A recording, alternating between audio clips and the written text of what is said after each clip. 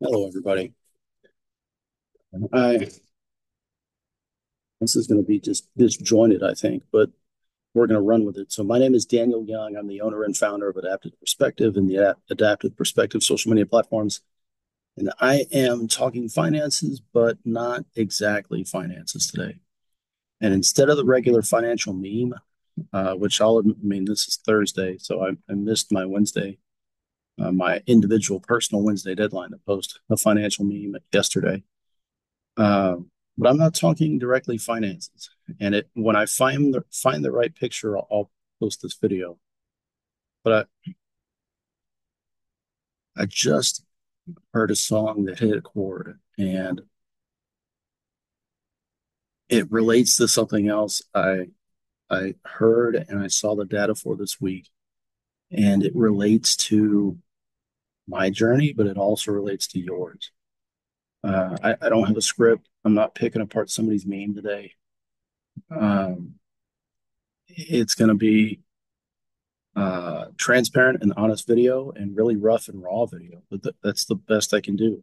And it, it's it's one of those things where every now and then I, I, get an idea that that flits across my head, but it, it it hits deeper and it it's just like you have to talk about this. So I am. So I saw a study earlier this week on uh, the the scientific evidence, but also just the the experienced outcomes of prayer, and not simple prayer, not like the stuff that might start your day or what most people start their day, not that one minute prayer you might pray every single day that's habit, or when you're stressed out about something at work or you're stressed out about like a huge financial decision or or medical decision you're facing you're facing not that random blip of a prayer. Purposeful prayer takes away your stress but so does purposeful reading of a bible. I say a bible it could might be your bible it could be an online bible. Uh, reading a bible four days a week consistently decreases your fears, decreases your stress, gives you more wisdom, uh, gives you a better ability to process and make it through the day to day life. Purposeful prayer decreases your stress, decreases your anxiety, and the weight of those financial things that just weigh on you. I mean, the up and down market, the day to day lifestyle, the managing a budget with crazy inflation and stagflation, and now what sounds like increasing inflation, what's already been there for a while, and the Fed's been hiding uh, the troublesome labor market. And regardless of what's going on in the day to day life and the day to day economy, and the stuff that just weighs down your budget and limits your ability to invest or or what you feel like the, the your inability to move forward that type of weight that just stays there is a way to combat that. And in the individual way you feel like the the wrestling with yourself or what might even feel like wrestling with god about stuff.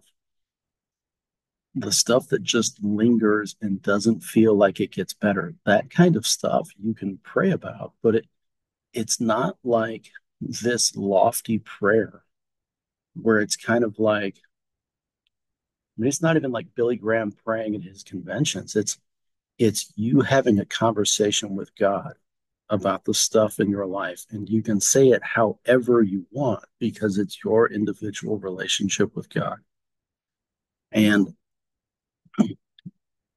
to be very transparent, extremely honest, and, and honestly pretty pretty vulnerable with you. The place that I go to pray is a quiet, uh, it's a quiet space I can find. But if I do it not right, if I do it habitually, in the sense that if I do it this time every time and I create the space, then I can take the space with me, whether I'm in a quiet space or I'm in a loud space or I'm in the car or I'm anywhere. But the what what constructs itself best in my mind is putting myself inside uh, a lighthouse.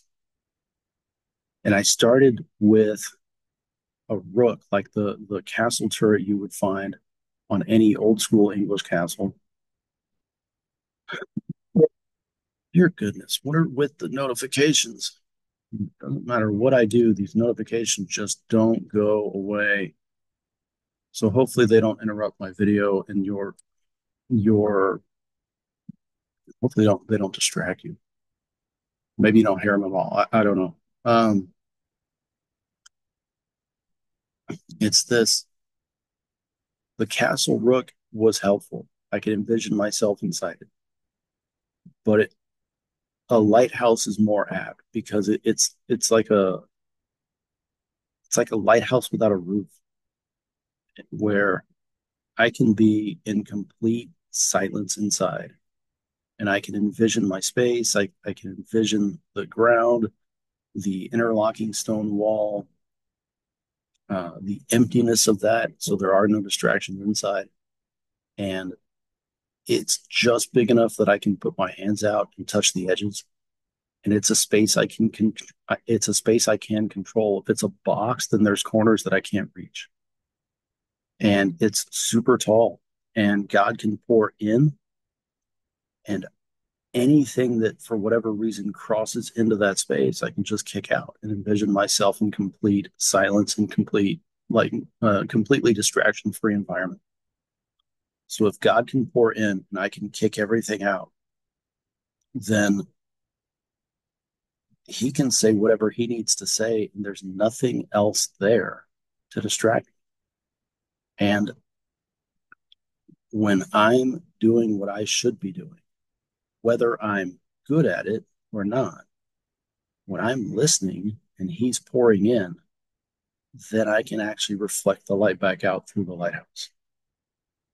But when I'm not doing what I should be doing, then I'm not admitting that much light or I'm not admitting that light at all.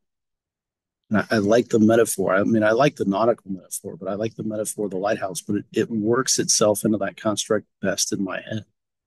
And I found that the like think of yourself on a mountain. There's too many distractions. Think of yourself on a beach. Well, there's still way too many distractions, and you end up with this limitless, that uh, this amazing landscape.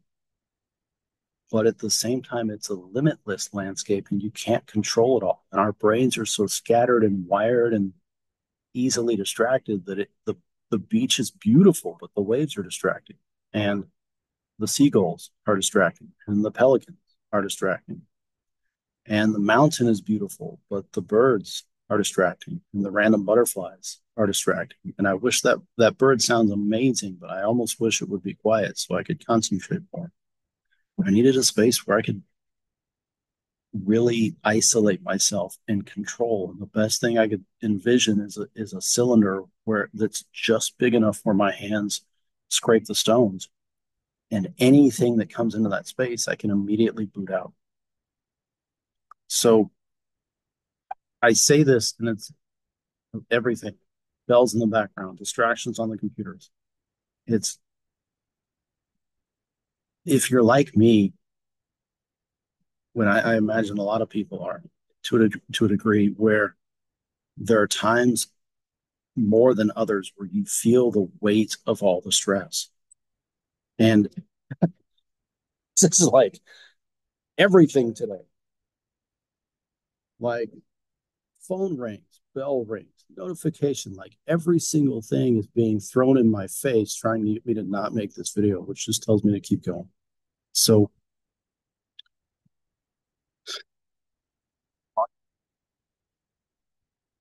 like every freaking thing you can imagine is happening right now for me to not make this video. Um, I, I, I don't know. I don't know how else to say it. It's insanely important for you to create a space, however that envisions inside your head, a space that you can control, where you can take time out of your day and pray, and you can really offload the stress of finances, but you can really offload the stress of life and it's insanely important.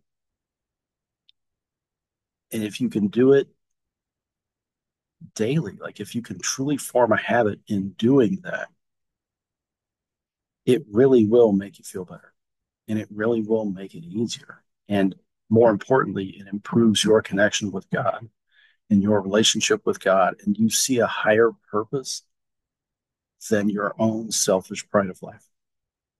So that's really all I got. I don't, it's financial, but it's also not financial. So, um, gosh, what, whatever you're facing, pray about it. And whatever stress you're feeling off finances, pray about it. And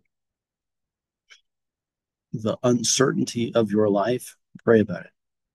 And it, it doesn't have to be lofty. It's you're just having a conversation with somebody else about how stressed out you are and you're asking for help. So if you like the content, consider subscribing. Uh, consider subscribing to my channel. Hit the like button, uh, and then you can find me on Instagram. It's the same handle on Instagram. The Facebook pages still exist, but I am working on underst- understanding Instagram and that algorithm. So uh, you're the captain of your ship. You have the power to change your life and your financial future. A lot of people are going to help you, but really only you can make the choice to do things. So build the structure you need. Really pay attention to what people are telling you, what people tell you. And from my experience, pray because it really does make a difference. So whatever you're doing, I mean, you can think about change all you want, but it's not going to happen unless you actually do something about it. So, whatever you have for the week, I hope it goes well. And gosh, the really important stuff, to be honest, the really important stuff that you got to say, you're going to find at times that there is roadblock after roadblock after roadblock, and you just got to keep going. So, I hope you have a great week, and I will see y'all in another video. Bye bye.